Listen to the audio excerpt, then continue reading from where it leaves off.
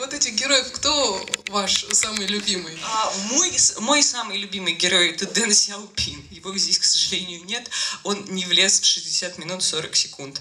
Это человек, который создал тот Китай, который мы видим сейчас, архитектор китайских реформ конца 70-х. Он пришел на смену Мао Цзэдуна, и он безумно крут. У него очень интересная биография, успел пожить во всех странах, по-французски, по-английски, по-русски говорит. А, маленький такой человек, чье имя переводится «маленькая бутылочка». Он создал огромную страну, которая сейчас станет сверхдержавой, вот буквально завтра. Можно задавать вопросы, да, если они у вас есть, дайте э, знать руки. Э, Диме да. Абрамову. Он... Я уже бегу.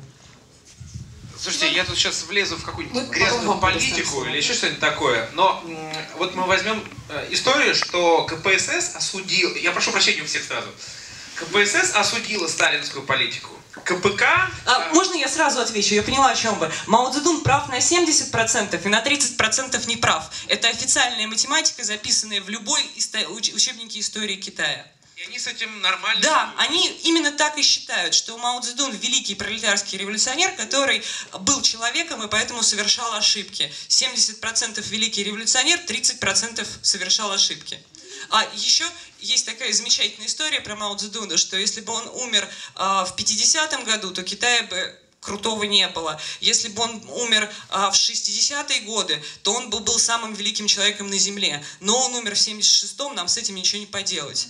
Вот это вот официальное мнение китайцев по поводу Мао Цзэдуна. Дим, мы сейчас вот впереди девушке дадим да, возможность, и потом, ага, говорите только громко. Да. С чего началось увлечение? Монетку подкинула. А в каком возрасте? А, в 17 лет поступала в университет, подкинула монетку. В смысле, какой факультет, да? Или как? Какой, какой язык? Какой я политолог-китаист. Через две недели э, буду дважды магистр китайского университета и российского университета. Но вот началось с того, что подкинула монетку, надо было выбрать кафедру языковую. Стала политологом, э, потом попала на стажировку в Китай пять лет назад и стала китаистом. И ни разу не пожалели? Ни секунды. А Самая лучшая монетка в моей жизни. А какая... А какая альтернатива была? Спасибо большое за интересную презентацию. А, вы сказали, что современный Китай боится этой тенденции на обогащение. Когда я была в Китае, наверное, мало слишком времени провела, чтобы... Компартия боится, не Китай. Китай радуется. Но мне показалось, что они никогда не были коммунистами, это абсолютно противоречит. А, вот э, бешенство культурной революции, казарменный социализм Мао Цзэдуна, когда китайцам запрещали быть китайцами, а быть китайцами это значит потреблять, это значит иметь семью, это значит много выпендриваться перед всеми друзьями и знакомыми, а, это значит богатеть, вот это все им запрещали а, вплоть до 1976 года. А культурная революция это такой маленький китайский апофеоз – вот человек в, как это называется, в пограничном состоянии. Вот это была страна в пограничном состоянии, страна, которая шла на самоуничтожение. И это все закончилось, и началось что-то новое, интересное, то, что происходит на наших глазах. Скажите, пожалуйста, вам, как китайскому политологу, знакома ли а, китайская традиционная медицина, которая там много тысяч лет? И как вы считаете, в нашей стране, если не брать шарлатанов, которые там рубят бабло, а, сможет ли когда-нибудь она достойно конкурировать э, другой очень сильной медицине, аюрведе, которые реально могут заткнуть за пояс? Не могу сравнивать, я про аюрведу ничего не знаю. Я первый раз слово слышу а про китайскую медицину, но она кому-то помогает, кому-то нет. Кому-то очень хорошо помогает, кому-то не очень хорошо помогает, кто-то ничего не чувствует.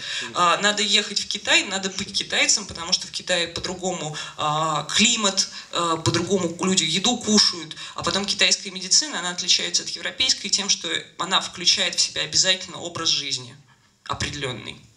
Спасибо за очень интересный рассказ. Но вот вопрос, но может быть не слишком веселый. Вот эти повзрослевшие хунвейбинки, они как сейчас как-то смотрят назад то, что было? Нет. Тогда? Нет, это Или была бурная прям... молодость. Вот этим э, хунвейбинкам в культурную революцию э, было около 14-15 лет.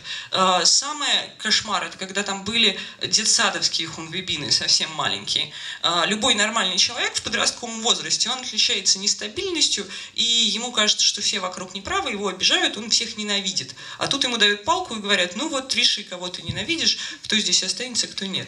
Э, я думаю, что они никак это не воспринимают, потому что молодость молодость закончилась, юность закончилась, началась семья, заботы. Одна хунвейбинка, мать четырех детей, вторая редактор гонконгской газеты. Никак они не вспоминают о своем прошлом.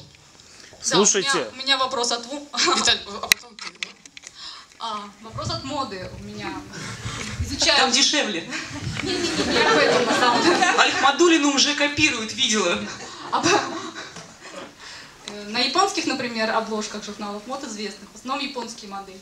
Ой, простите, европейские модели, в том числе русские. А вот на китайских в основном китайские. Экспортируют ли они А, идеал вот- красоты и какой у них идеал? Поняла. Вот И Здесь с Китаем все просто. Любая диссертация, нафиг. Все написал Ганс Христиан Андерсен. Есть сказка о золотом соловье. Э, Первое предложение сказки. Китай большая страна, там живут китайцы, правит ими император, тоже китаец. Все, больше ничего про Китай не знать не надо. Вот ответ на все вопросы. А, Китайские герои, они китайцы, а Витас это абсолютное исключение. Абсолютное исключение. Он единственный живой человек, который белый и популярен в Китае. Которого они не считают белой обезьяной, которого они любят. Он снимается в фильме, он играет помощника императора любимого. Он снимается в другом фильме, роль пишут для него. Он снимается в третьем фильме, который выпускают к 60-летию Компартии Китая. Это почти ваше имя записали в Библию. И это Витас. Когда спрашивают в Китае, ты слушаешь Витаса, как-то стыдно сказать, что нет все время. Мы успеем последний вопрос. Да, у меня, возвращаясь Сейчас полсекунды по моде. Поэтому образ красоты, он тоже китайский. Наплевать, что там европейское красивое. Вот китаянки есть. Нет пока, потому что он очень своеобразный. Возвращаясь все-таки к хунвейбинам, но более общо и про нас. Слушайте, ну вот э, хунвейбины, им несовестно, да? А, за главного своего человека несовестно. Мы просто пожонглировали. Он так что на он 30% на- Да, на прав. 30, да, и на 70. И все вот эти сообщения о том, что они там совершенно не соблюдают авторские права, воруют дизайн-машину европейцев и прочее, прочее.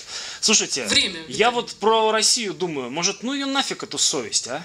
Здесь дело не в совести. Может быть, А может быть... Вы э, о Китае пытаетесь судить как о европеец. А, нельзя. Это отвечать на вопрос, какие люди лучше, с голубыми глазами или с черными. Ну, смотря что в голове, смотря какой человек. Вот китайцы, они очень другие, поэтому у них другая система ценностей и другая совесть. Вопрос не она не менее совестливая, она другая. Вопрос не в Про лучшем, Россию вопрос не знаю, я китаист.